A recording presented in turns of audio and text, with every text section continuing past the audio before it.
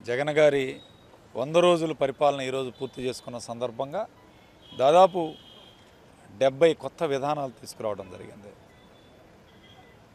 బ్రహ్మాండమైన సంక్షేమ పథకాలు ఈరోజు ప్రజలకు తీసుకురావడం ముఖ్యంగా అమ్మఒడి కార్యక్రమం కానీ రైతు భరోసా కార్యక్రమం కానీ పెన్షన్లు కానీ ఇళ్ళు పంపిణీ ఇళ్ళ స్థలాలు పంపిణీ కార్యక్రమం కానీ రైతులకి పంట బీమా కార్యక్రమం కానీ ఇలాంటివి అనేక మార్పులు ఇవాళ డెబ్బై ఐదు పర్సెంట్ డెబ్బై ఐదు శాతం స్థానికులకి ఉద్యోగ అవకాశాలు యాభై శాతం ఎస్సీ ఎస్టీ బీసీ మహిళలకి ఈరోజు నామినేటెడ్ పదవుల్లో స్థానం కల్పించడం కానీ నామినేటెడ్ కమిటీల్లో కానీ నామినేటెడ్ పదవుల్లో కానీ పనుల్లో కానీ ఇవన్నీ కూడా జగన్మోహన్ రెడ్డి గారు విప్లవాత్మక మార్పులు తీసుకొచ్చాడు. ఇవి మొట్టమొదట శ్రీకారం చుట్టిన రోజే ఈరోజు ప్రజలకు అర్థమై ఉండాలి. మంత్రివర్గంలో అరవై శాతం మంది ఎస్సీ ఎస్టీ బీసీ మైనార్టీలకు స్థానం కల్పించినప్పుడే ఈరోజు జగన్మోహన్ రెడ్డి గారు ఏ విధంగా పరిపాలన చేయబోతున్నారో ఈరోజు ప్రజలందరికీ కూడా ఈరోజు ఒక ఒక ఉద్దేశం ఒక గుర్తు తీసుకొచ్చారు. ఆ విధంగా ఈరోజు ఆర్టీసీ విలీనం చేయటం. దాదాపు ఏడు వేల కోట్ల రూపాయల నష్టంలో ఉన్న ఆర్టీసీని విలీనం చేయాలంటే ఒక గుండె ధైర్యం కావాలి. ఆ ధైర్యం గల నాయకుడే జగన్మోహన్ రెడ్డి గారు. ఏదంటే ఏ నిర్ణయం తీసుకున్నా ఆ నిర్ణయానికి ఏదైతే హామీ ఇచ్చామో ఎన్నికల సందర్భంగా హామీలన్నీ కూడా నెరవేరుస్తామో. ఆ మాట ఇస్తే వెనక్కపోమని చెప్పి ఈరోజు మాట మీద నిలబడి అన్ని హామీలు కూడా ఒక్కోటి ఒక్కోటి పూర్తి చేసుకున్న నేపథ్యంలో చంద్రబాబు నాయుడు గారికి నిద్ర పట్టకుండా ఈరోజు ప్రతిదీ కూడా రాజకీయం చేసే విధంగా చంద్రబాబు నాయుడు ప్రతిపక్షాలను కలుపుకొని ఇవాళ మాట్లాడటం నిజంగా సిగ్గుచేటు. ఇవాళ వరదల్ని మొన్న వచ్చిన వరదల్ని రాజకీయం చేయడానికి ప్రయత్నం చేశాడు. ఒక్క ప్రాణం అన్న పోయిందా? ఒక్క పశువు గేదన్న చనిపోయిందా? ఇవి కూడా మనిషి తెలియకుండా ఏదేదో మాట్లాడుతున్నాడు.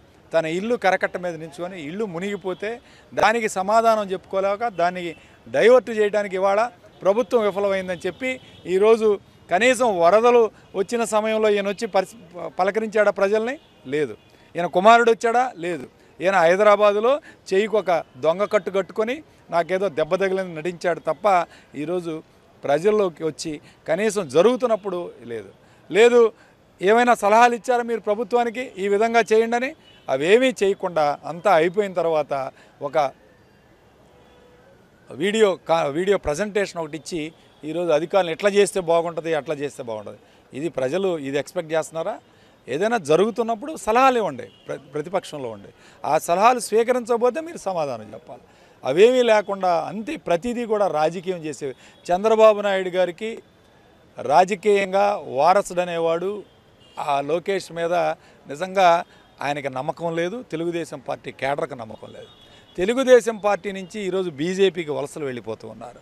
ఈ తరుణంలో అతనికి ఒక భయం పట్టుకుంది. ఈ పార్టీని ఎలా మొయ్యాలి ఎలా తీసుకువెళ్ళాలి ముందుకని భయం పట్టుకొని ఈ పార్టీ పూర్తిగా అంతరించిపోద్దేమనే భయంతో ఈరోజు ప్రతిదీ కూడా రాజకీయం చేసి ఈరోజు మాట్లాడుతున్నాడు. ఈరోజు పల్నాడులో ఏదో అయిపోయింది పల్నాడులో పునరావాస కేంద్రాలు పెడతామని చెప్తా ఉన్నాడు చంద్రబాబు నాయుడు గారు. ద పల్నాడు రా దమ్ముంటే. ఐదు సంవత్సరాల పరిపాలనలో ఏం జరిగింది గత ఐదు సంవత్సరాల పరిపాలన కనీసం వైఎస్ఆర్ కాంగ్రెస్ పార్టీ వాళ్ళని పోలీస్ స్టేషన్కి రానిచ్చారా? కంప్లైంట్ ఇచ్చారా? గ్రామ బహిష్కరణ ఎన్ని గ్రామాల్లో జరిగిందో చూద్దాంరా. నిన్నే నేను సాక్షిలో ప్రెస్ మీట్ కూడా పెట్టాను మీ విజయవాడలో పార్టీ ఆఫీస్లో. దాదాపు ఇక్కడే నర్సరావుపేట నియోజకవర్గంలో కాకాని గ్రామంలో ఈరోజు గ్రామ బహిష్కరణ చేశారు. ఇక్కడ పక్కన ఐసాయిపాలెం గ్రామంలో గ్రామ బహిష్కరణ చేశారు. వీటన్నిటి మీద కూడా సమాధానం చెప్పాలి చంద్ర రావాలి. నువ్వు నిజంగా రా. ధైర్యం ఉంటే నువ్వు ఒక్కడవే కాదు. ఇక్కడ ఇక్కడ నీ పార్టీ తరపున పోటీ చేసిన పోటీ చేసి ఓడిపోయిన ప్రజాప్రతినిధులు గతంలో ఉన్న ఎమ్మెల్యేలు కూడా తీసుకొని రా. ఇక్కడ పల్నాడు ప్రాంతంలో ఎవరైతే ఉన్నారో కోడెల కోడెల కోడెల కొడుకు కూతురు ఎరపతనేని అంజిరెడ్డి మాచర్లో వీళ్ళని కూడా తీసుకొనిరా జీవి ఆంజనేయులు గారిని కూడా తీసుకొనిరా వీళ్ళందరూ సమాధానం చెప్పాలి. ఏం చేశారు వీళ్ళు ఐదు సంవత్సరాల కాలంలో? ఏ అన్యాయాలు చేశారు? ఏమి అక్రమాలు చేశారు? అవి కూడా బయటికి తీయాలి? ఇవాళ కోడెల కొడుకు కూతురు ఇవాళ మూడు నెలలు అయింది కనపడకుండా పోయారు ఈ నియోజకవర్గాలు. రెండు వదిలిపెట్టి. వాళ్ళకు కూడా కల్పించండి పునరావాస కేంద్రం అక్కడ. ఎరపతినేని కూడా కల్పించండి. ఎరపతినేని కూడా కనపడలేదు ఇక్కడ. వీళ్ళందరూ లేకుండా ఏదో నేను వస్తాను అంటే నీ తరపున ప్రజాప్రతినిధులు వీళ్ళు పోటీ చేశారు ఇక్కడ. వాళ్ళని కూడా తీసుకొని వస్తే ప్రజలు వీళ్ళు ఏం చేశారు? ఐదు సంవత్సరాలు మీకు వివరంగా చెప్తారు. చెప్తే అప్పుడు మీరు తెలుసుకొని అర్థం చేసుకుంటే బాగుంటుంది. ఖచ్చితంగా మేము రేపు వచ్చేటప్పుడు కోడెల బాధితులను కూడా ఒకరిని అక్కడ పెడతాం. ఖచ్చితంగా అక్కడ ఏం జరిగింది? సత్యనపల్లి నర్సరాబాద్ నియోజకవర్గంలో మీకు ఖచ్చితంగా మీ దగ్గరకు వస్తారు. వాళ్ళకు కూడా సమాధానం చెప్పాలా? ఎన్ని గ్రామాల్లో గ్రామ బహిష్కరణ జరిగిందో సమాధానం చెప్పాలి ఐదు సంవత్సరాల కాలంలో? దానికి కూడా మీరు సమాధానం చెప్పే విధంగా రండి అందరిని తీసుకొని రండి. ఏం జరిగిందో తెలుసుకుందాం. అదేవిధంగా ఇక్కడ రామిరెడ్డిపాలెం నుంచి కుమ్మిత కోటిరెడ్డి ఎక్స్ప్రెసిడెంట్ మాట్లాడుతున్నాడు. అతను వైఎస్ఆర్ కాంగ్రెస్ పార్టీ తరపున సర్పంచ్గా పోటీ చేసి గెలిచాడు. గెలిచి మీ పార్టీలోకి వెళ్ళాడు. అతని మీద ఇప్పుడు కూడా ఏడు కేసులు ఉన్నాయి. రౌడీ షేటర్ ఉంది. రౌడీ షేటర్ను పక్కన పెట్టుకొని నువ్వు దాడుల గురించి మాట్లాడితే ఇక నీ అనుభవం ఏమైంది చంద్రబాబు నాయుడు గారు? నలభై సంవత్సరాల అనుభవం ఏమైందని చెప్పబడుతాను రౌడీ షేర్లకు పునరావాసం కేంద్రం కల్పిస్తారు. కోడెల కుటుంబం ఎరపతినేని దందాలు చేసిన వాళ్ళు ఇవాళ అన్యాయంగా అక్రమంగా ప్రజలను దోచుకున్న వాళ్ళ దగ్గర ఇవాళ పునరావాస కేంద్రం కల్పిస్తారా? కల్పించండి. తప్పకుండా వీళ్ళందరికీ కూడా కల్పించి తీసుకొని రండి.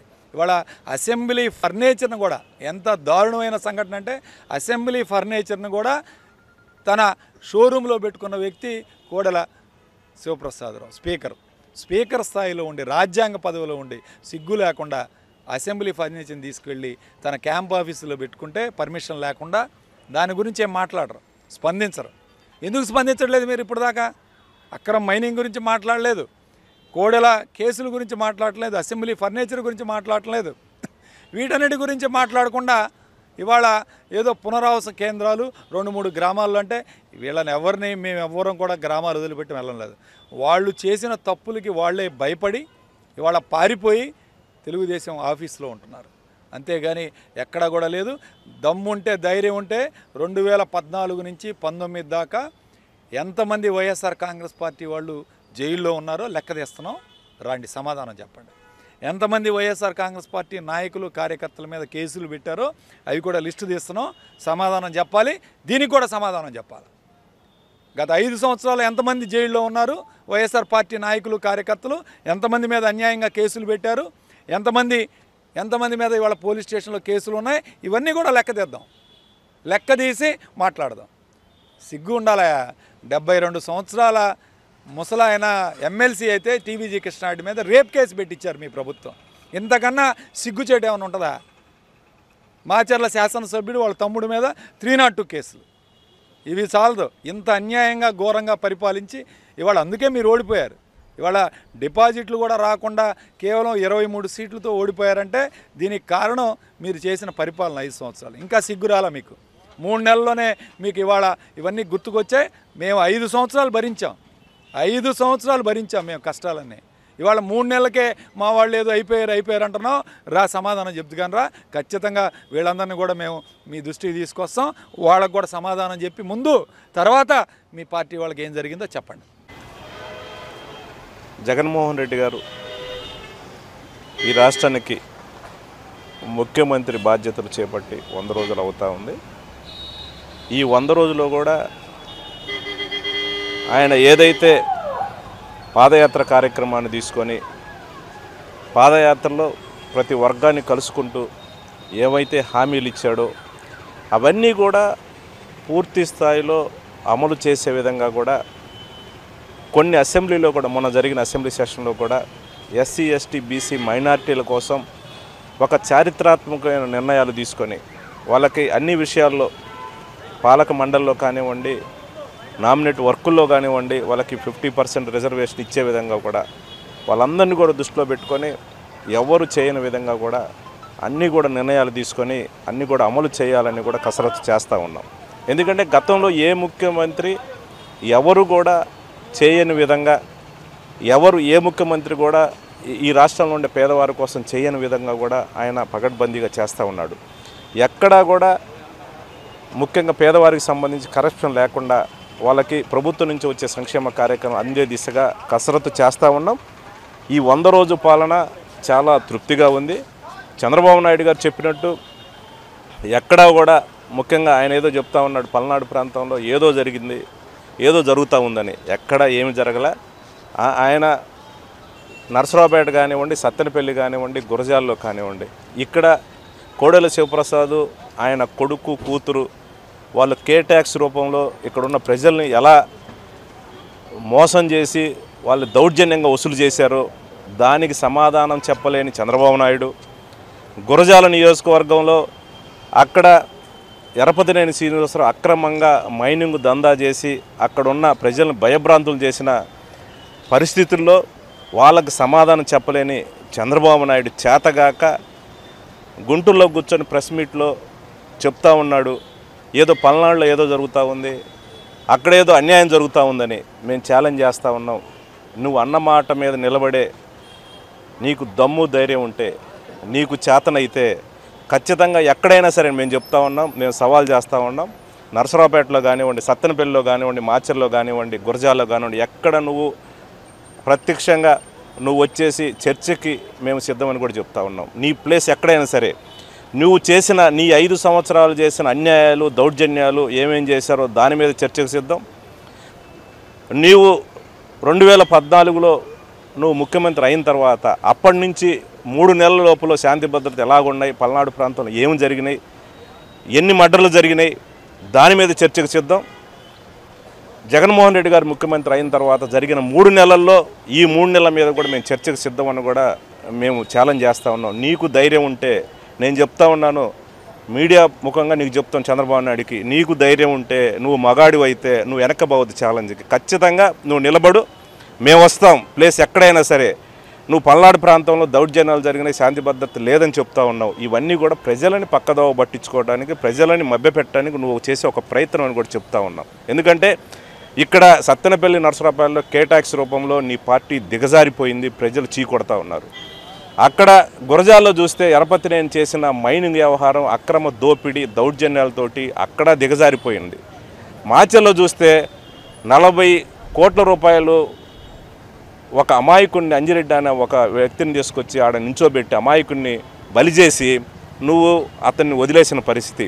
ఈరోజు పల్నాడు ప్రాంతంలో శాంతి భద్రత మీద నువ్వు మాట్లాడుతూ ఉన్నావు.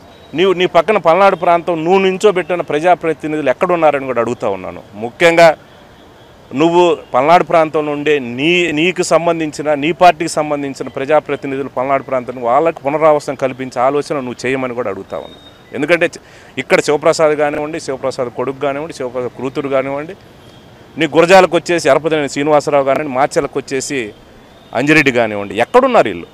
వాళ్ళని తీసుకురా వాళ్ళని తీసుకొచ్చేసి నువ్వు పల్నాడు ప్రాంతంలో ఉన్న సమస్యల మీద మాట్లాడు కానీ నువ్వు ఇష్టం వచ్చినట్టుగా నువ్వు నోరు బారేసుకొని నువ్వు ఏదో జరుగుతూ ఉంది నువ్వు ఏదేదో చేస్తే ఇక్కడ ఎవరో కూడా చేతగాని వాళ్ళు ఎవరు లేరు. నేను చెప్తాను చంద్రబాబు నువ్వు నోరు అదుపులో పెట్టుకొని మాట్లాడితే బాగుంటుంది. ఖచ్చితంగా నువ్వేదో వస్తా ఉండవు నువ్వు రా.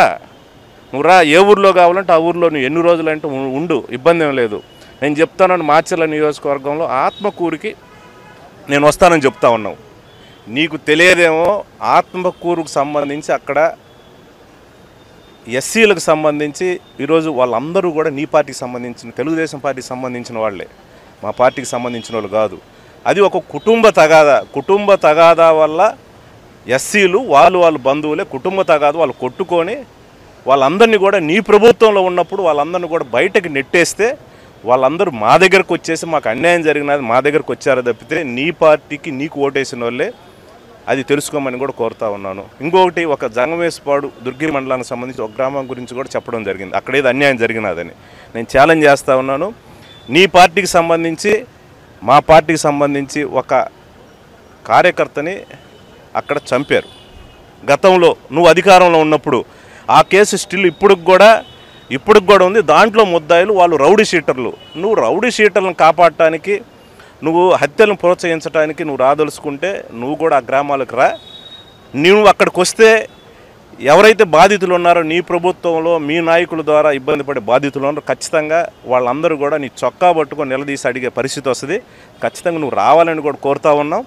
ఎందుకంటే మేము స్వాగతిస్తున్నాం. నువ్వు పల్నాడు ప్రాంతంలోకి రా పర్యటన చేయి బ్రహ్మాండంగా. అన్ని విషయాలు చర్చిద్దాం.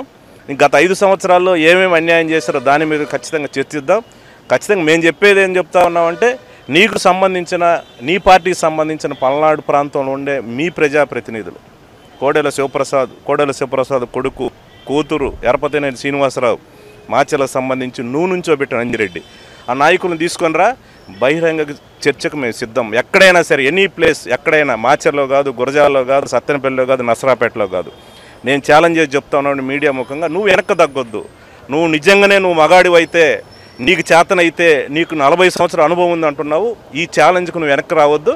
బహిరంగ చర్చకి మీ ప్రజాప్రతినిధులు తీసుకొనిరా. బహిరంగ చర్చకి మేము సిద్ధమని కూడా ఛాలెంజ్ చేస్తాం.